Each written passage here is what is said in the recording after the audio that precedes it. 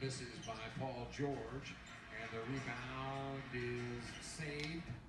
The question is, was that a backcourt violation? Shot was taken. There was an attempt to control the rebound. It went into the backcourt.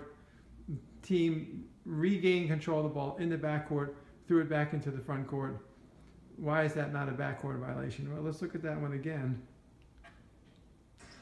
You see, after the shot, no team uh, regains control of the ball. It's a loose ball the whole time, and until that point, control is not regained. So, because no control was established in the front court, therefore it cannot be a backcourt violation, and, and a rebound is considered a loose ball. So, if it's recovered and control is regained for the first time in the backcourt, uh, it's not a backcourt violation. That's why this one was not called, and they were allowed to play on.